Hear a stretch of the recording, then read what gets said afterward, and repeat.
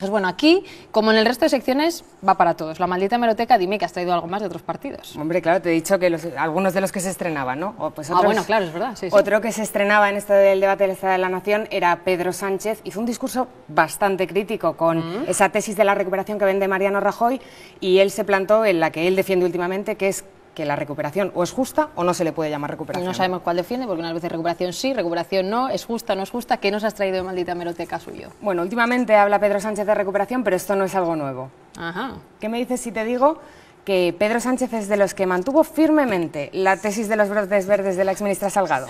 No puedo creerte, no puedo creerte. sí. Bueno, claro, era un gobierno del Partido Socialista, él era un cargo en el Partido Socialista, no como ahora, pero era un cargo, no sé si concejal, creo que era, ¿qué iba a hacer? Pues defender a los suyos, muy español. Tocaba, tocaba. Mira, Pedro Sánchez tenía un blog cuando era concejal por Madrid. Y aquí lo estás viendo. Qué En el mismo barco se llamaba. Hablaba un poquito de todo. ¿Era concejal o era poeta? No, no era No, concejal. era vale, concejal, era concejal. En Bueno, el mismo barco. En este blog nos podemos encontrar chascarrillos, opiniones, argumentos. Pero ojo, es un blog que ha borrado, ¿eh? ¿Cómo que lo ha borrado y cómo de dónde lo ha sacado? Bueno, es un O blog. sea, si accedemos en el mismo barco, no está ahora mismo. No vas a encontrar todo el blog. Ha borrado una parte de las entradas, las de más atrás. Nosotros las hemos recuperado. Suponemos que las ha debido borrar porque no quería que te enseñáramos cosas como la que vamos Ah, a ver vale, ahora. sí, vale, vale. Así que vamos a enséñanos, ello. enséñanos. Verás. Cosas que ha borrado Pedro Sánchez, 2009. no sabemos si es porque igual, oye, pues la foto no era bonita o tal, pero no. En junio de 2009 escribía esta entrada. Brotes verdes, ves ahí las hojitas, están un poco pochas, podía haber elegido un poco mejor la foto, pero bueno, ya lo ha arreglado él con el texto.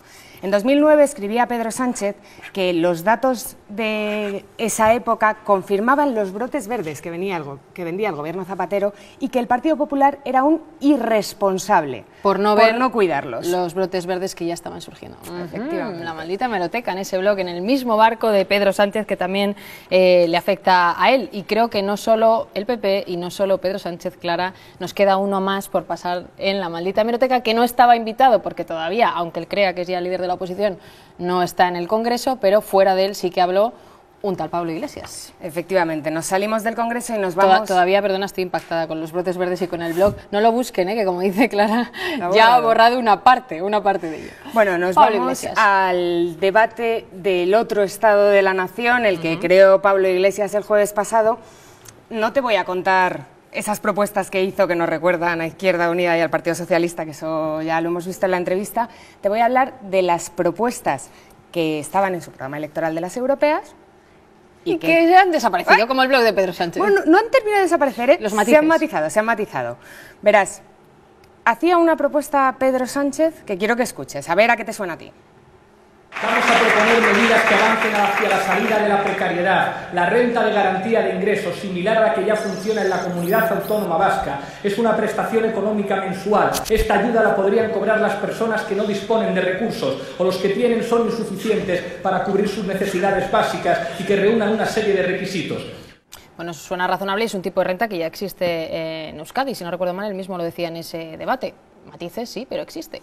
Maldita Hemeroteca no está aquí para decidir si es razonable o no es razonable veces- esta renta A veces me das miedo. con requisitos, pero sí estamos aquí para recordarle a Pablo Iglesias que en el epígrafe 1.12 de su programa de las europeas, él hablaba de una renta básica para todo ciudadano por el mero hecho de ser un ser humano, sin requisitos.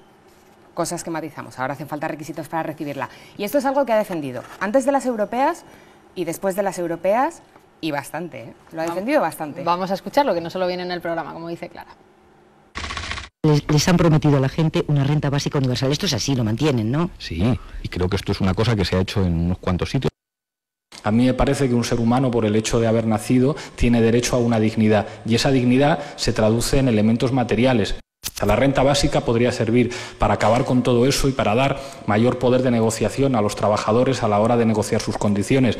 Lo de la renta básica, que cualquier persona pueda tener 650 euros al mes por el hecho de ser un ser humano, es una cosa perfectamente razonable. La maldita hemeroteca, Clara, que se llevan por delante los matices y claro, cuando te pones a buscar te encuentras estas cosas, ¿no? Era perfectamente razonable. Esto es lo que vamos a llamar Pablo Iglesias haciéndose un Groucho Marx. Estos son mis principios. Si no le gustan, tengo otros. Bueno, más maldita hemeroteca la semana que viene. Gracias, Clara, al PP, al PSOE y también a Podemos.